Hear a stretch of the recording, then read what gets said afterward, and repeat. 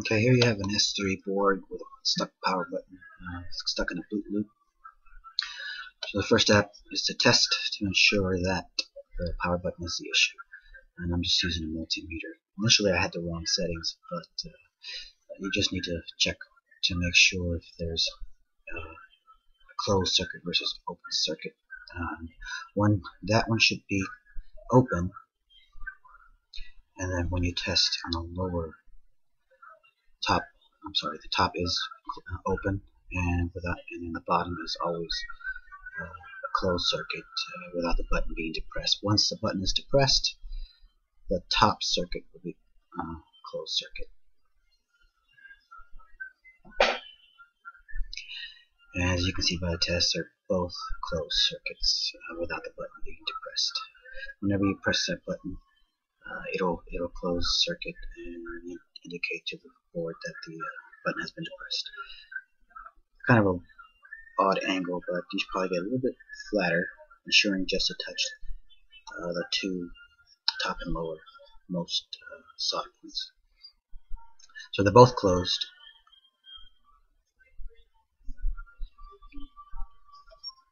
And of course, I'm just trying to position the board so, so the recording will, will catch everything. And the first step is to get some solder, uh, some flux. And I have like a gel type, and I just basically use the uh, spudger and just put it on all the solder points. Once you're satisfied with the amount of flux, you can uh, cut up some low melt desoldering wire and just place it on the solder points. The, the low melt, which what you see here, just lowers the melting point of the existing solder. It mixes it as you touch it with a soldering iron. It will mix with the existing solder and lower the melting point. You place the uh, soldering iron on there, allow the uh, the new solder to flow and mix with the existing solder. And the, the solder iron, I have it set at uh, 340 degrees Celsius. It could be lower, but I found that it just takes longer if it's lower. So first point I touch the uh, rear anchor point, and then the two solder points on the left and the right. Just mixing it up.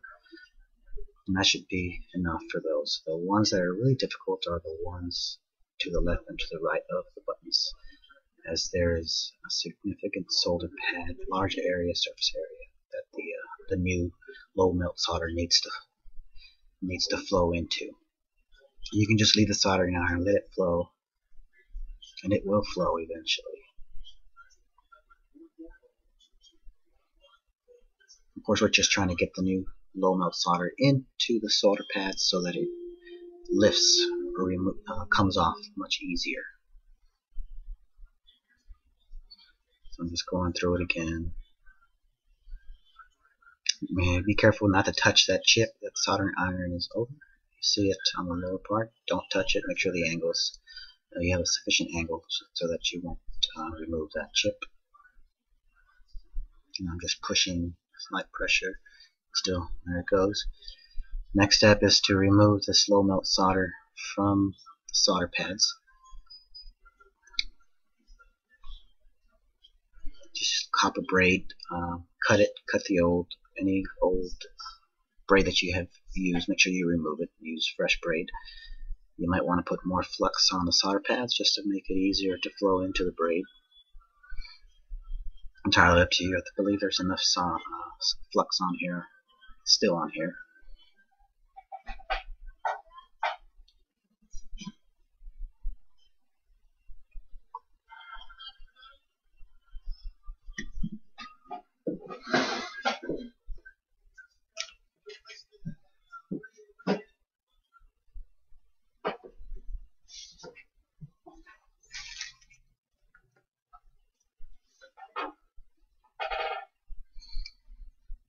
The braid. Just make sure you get most of it. Now what you have are two uh, holes, through hole anchor points that have the old flux I'm sorry, the old solder still in there. The uh, the higher temp uh, requires a higher temperature to melt. So again, I'm going to cut some low melt solder and just place it in there. This is very brittle. Once you place it, it needs to be removed so that obviously the uh, new solder joints are strong. But uh, I just put it on there, mix it up, get it into the hole. Uh, just keep the iron on there a little long just to, just to make sure it mixes with everything uh, underneath it. Of course, clean your solder iron periodically. Tin it.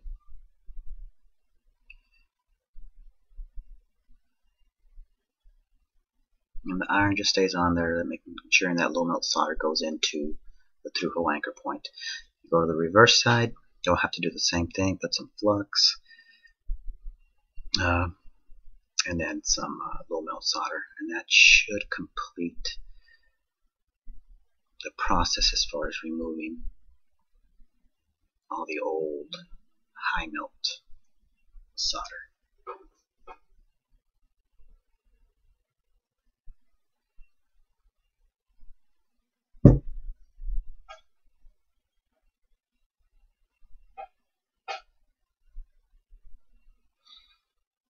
It might take a little while here. That one didn't want to take.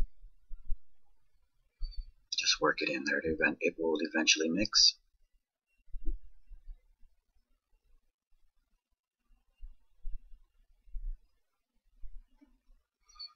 Now after you've done this, uh, you can use a vacuum-based desoldering iron, which I've used in the past, and it and it, it does work. It's just another tool that uh, that you need to watch, you know, plug in and and uh, clean out after you're done. In this case, I've just found that just using the basic soldering iron does the trick. So that vacuum-based desoldering iron is just there just in case uh, this process doesn't work, but uh, it does work. So we have low melt solder on both sides. So now you get the solder wick, make sure, or the uh, desoldering wick, make sure you cut off the old uh, that you've already used, and you have fresh wire.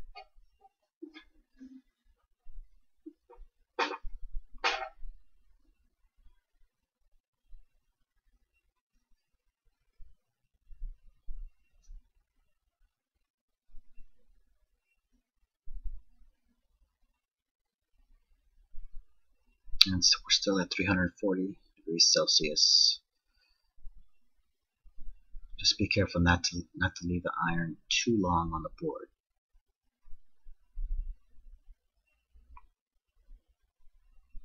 You can't really tell, but uh, it's it's wicked up pretty much all of the uh, old solder from the through hole anchor points. Once you've completed this process, what you need to do is uh, tin the solder pads with uh, high melt solder wire. Because right now the uh,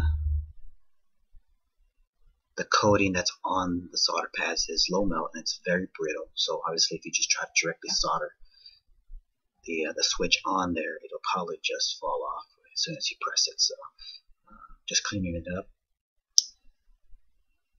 clean off your solder tip, tin it, and then put uh, some solder wire that you're going to use just to kind of coat the solder pads, and then you'll clean that off. And that should pretty much essentially remove the low, low melt solder from the solder pads.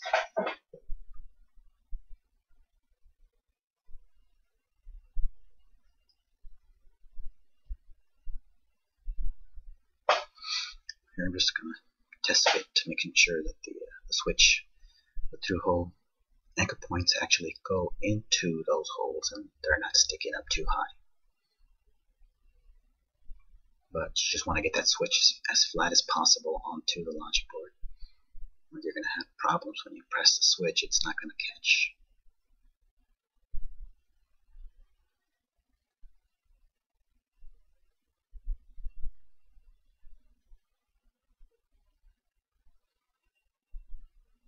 Now you can put the board in some kind of clamp or vise. Uh, I prefer not to. I've never had any issues. But I, I've I have had uh, I've had I have placed them in a clamp just to hold it in place. And you see these clamps throughout the videos. It, it just raises the board and holds it firmly. Uh, it's hard to focus. I couldn't focus it, but the the switch is, is flat. There's it's not raised. Uh, it, there's enough of the old solder removed from the through hole anchor points, allowing the new switch to, to be flush along the board, which is what you want.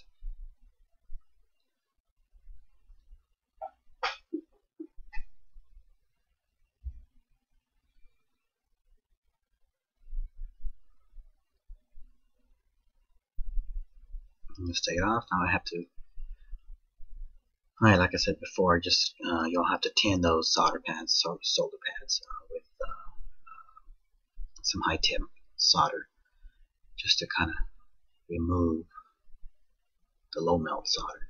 Now, what you want to do is you want to be careful not to introduce any solder into the through hole anchor points because you just you just removed it. So all you're going to do is touch um, your iron when there's just a light amount of solder already. So you, you'll touch up the, the three big pads to the top that you currently see right now with, with solder with the uh, soldering iron and some solder. And it's a normal solder that you're going to use utilize to solder the switch back on. So right now you see there's a lot of solder on there, so I don't want to necessarily touch those two pads on the bottom because it might flow into the through hole anchor points. So just kind of clean off your tip, get a little bit of solder, and then just touch the solder pads just to kind of get some solder on there. You'll be cleaning this off. Once you clean it off, it'll it'll it'll remove any any of the old low melt solder from the pads, and that should be enough. I've never had issues doing this process like this.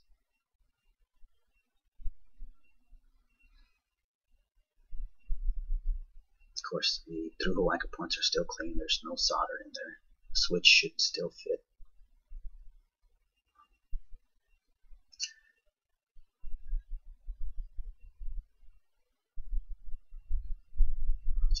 Lightly touching those pads just to remove, not trying not to introduce any solder into your through hole anchor points because then you'll have to start all over and remove any solder from, the, from those through hole points.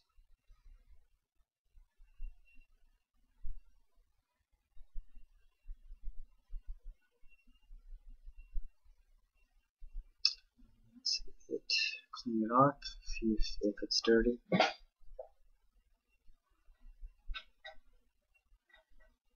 Put some fresh flux on there. Flux is absolutely necessary. It allows the new solder to flow and to adhere and it prevents oxidation from forming uh, on your on your joints. Without the flux, sometimes that solder just won't touch the tip and it won't do anything.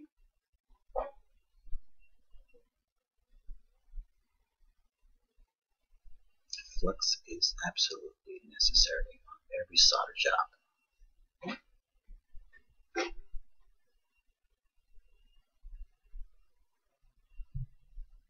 There are a lot of videos that don't where they don't use any flux at all, which is kind of odd because that's just high oxidation, brittle joints, cold joints.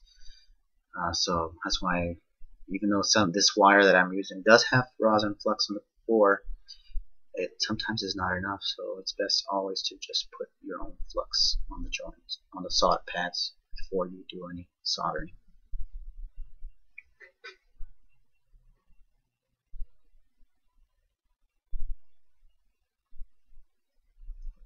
Put the switch in position. It's nice and flush. Now what you do, you'll do is use a spudger to just kind of hold it down. I mean, you, I've used tweezers, lock, locking tweezers before. Um, didn't doesn't place too much pressure. Uh, you have to be careful with other types of boards, as the tweezers um, other boards there are chips underneath the switch, so that's the problem with the tweezers, the locking tweezers. Uh, best just to use a spudger to kind of put slight downward pressure on the switch to ensuring that it is still flush with the board. So here I'm just putting flux again all um, I'm putting I'm sorry tiny pieces of the cut soldering wire you can see that small piece just on the corners on all places that need to be uh, soldered in place right now. So it's just an anchor point, so two through-hole anchor points and the rear anchor point.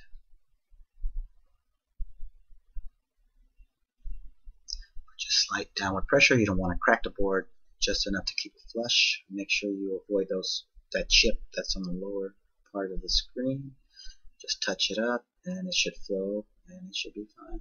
Now with the remaining solder, once you've got solder on the tip, now you're just touching the two pads left and right.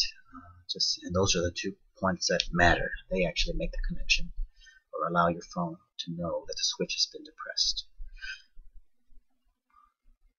So now the front, the front, or in this case the lower through-hole anchor points uh, left and right. So you just touch that wire, it will flow underneath the switch into the solder pad.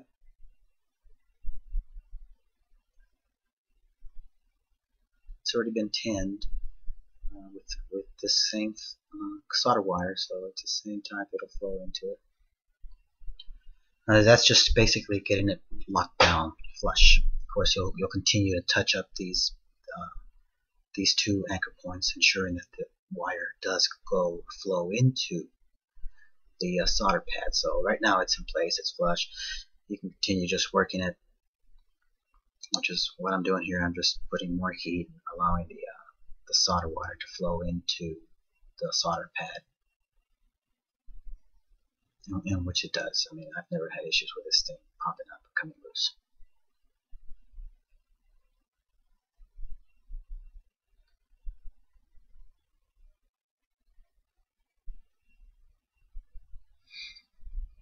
So now you have those uh, left and right joints. You want to those two points cannot short on the uh, on the casing of the switch. There's a little pad that's on the switch. It's hard to see if you look at it. You'll be able to tell. So it goes from the solder pad to that switch. You cannot have too much solder where it connects to the casing, or else it's just going to be constantly depressing or thinking that the switch is pressed. So once you've soldered it, you make sure that the solder only goes to the pad on the switch and not the metal casing of the switch. Which sometimes if you put too much, it will. I'll try to add some pictures at the end showing uh, a proper soldering job where there is no short.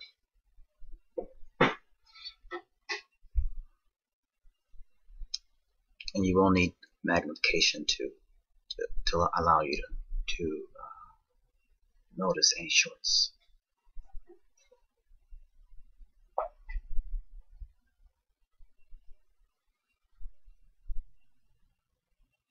That's just me looking at the switch, making sure that all points are, uh, that those two points are fine. There's no shorting.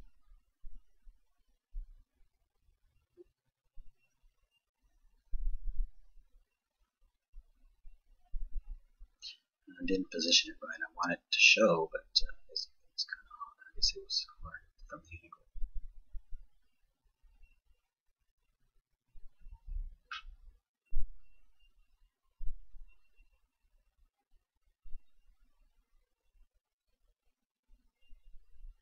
Clean it off once you're satisfied, or you can just continue touching it up. So here's a test ensuring that the uh, the circuit the circuits are, or in this case this is a closed circuit as, as it should be the top should only should only activate when the button is depressed so this should be an open circuit here which it is now of course the next step is press the button, but it's kind of hard to do with just two hands. So you'll have somebody depress the button, or you could push it towards something solid to test the button. But uh, most switches are, are fine. But uh, you just want to make sure that the top one is, is still open. And just clean it off, and that should do it. Just put it back together, easy reassembly. There's nothing complicated about the disassembly or reassembly process uh, to remove the logic board on an S3, S2, S4. And the same process applies across the board uh, for S2, S3, S4, power buttons, volume buttons.